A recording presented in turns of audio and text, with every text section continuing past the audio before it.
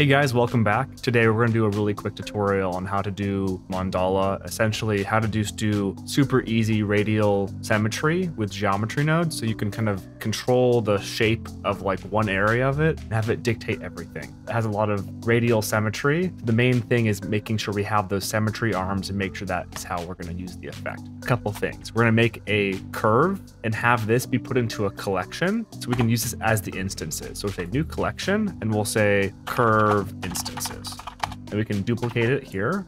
Now we have two, and this will be our GeoNode system. So we have our collection and our GeoNode system. So geometry, new group. We're going to drag in these instances.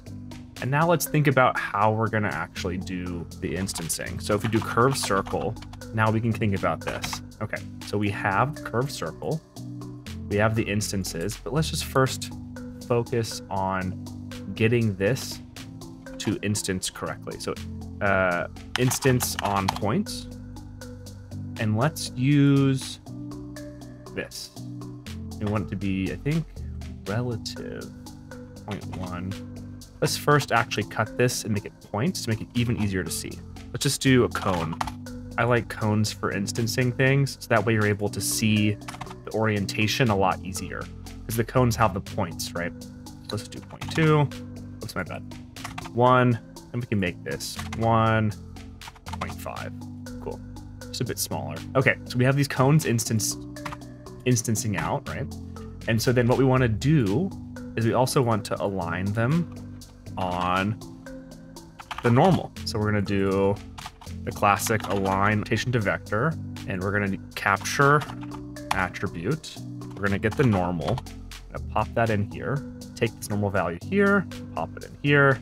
I think we actually want this. Then if we change the instance to this, nice. I think it is instancing correctly now.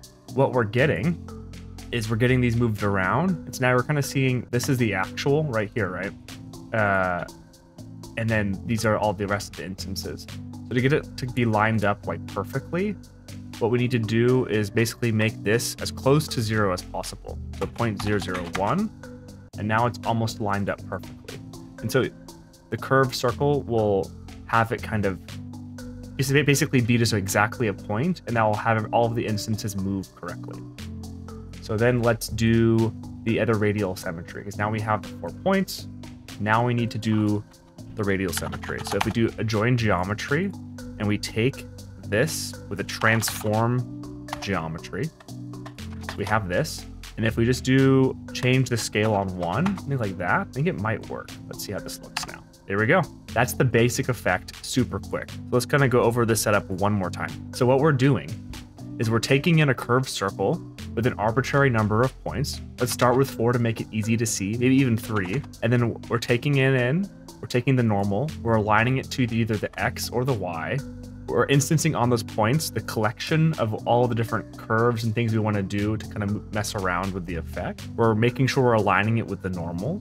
We're then transforming the geometry and inverting it on the x-axis to make that radial symmetry and rejoining it together. That's going to make sure we have that radial symmetry as we see. So we have to see it here, here, here. Now what we can do is remesh these lines to make sure it's going to look good. So we're going to taper them and remesh them. Curve to mesh. Actually, we can do this back here. And then curve circle. Make it less. Then what we can do is set curve radius. And we're going to be using the spline parameter. And we're going to just use the factor. And then we're also going to use a uh, float curve and just do the classic tapered look. So we're going to need to resample the curve, and that will allow us to have it. One thing I was noticing when I was playing around with it is we actually want to do a subdivide curve actually instead, I think, and that will look a bit better. Yeah, I think it's just the subdivide curve is going to work the best, especially when we start moving it around. So then let's also make this overall radius much smaller, maybe like 0.1, and it looks much more tapered, and I, I like how it looks now. So cool. So now we have the symmetries in, so then what we can do is make the design. So we, we have the setup right here in the geometry nodes. We're going to go back to layout. We're going to do top down. And we're going to click back into our uh, collection, click selecting the one we want. Remember, because it's like instance on top, it's like invisible, it's hard to see. Clicking on it and tabbing into the edit mode, right clicking, subdividing, and then we can just make our shape. So I'm gonna grab this up, maybe pull it out. It really doesn't matter because it's all procedural right here. We can have it cross.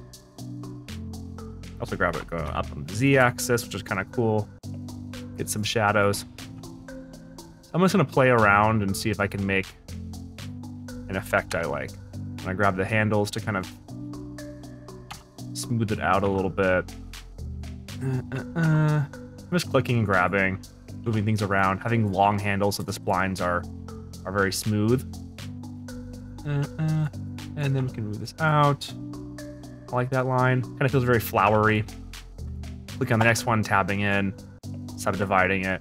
Whenever you want to add an extra point, I would just subdivide. Gonna be the easiest way. And maybe extend those curves on those handles so it smooths it out. Uh. Don't want it crossing this one. Just having kind of play with it, touching. I'm gonna subdivide again, selecting the two, right click subdivide. Kind of like that. Pull it in. Actually, if you grab the point and push scale like this, it will scale the curves too, which is cool. So grabbing, pull this in. Nice, happy with that. Uh, I'm gonna add a, a curved circle. So I'm gonna tab back into the edit mode in the instance of the in, in the collection. I'm gonna do curve, curve circle. Still inside here.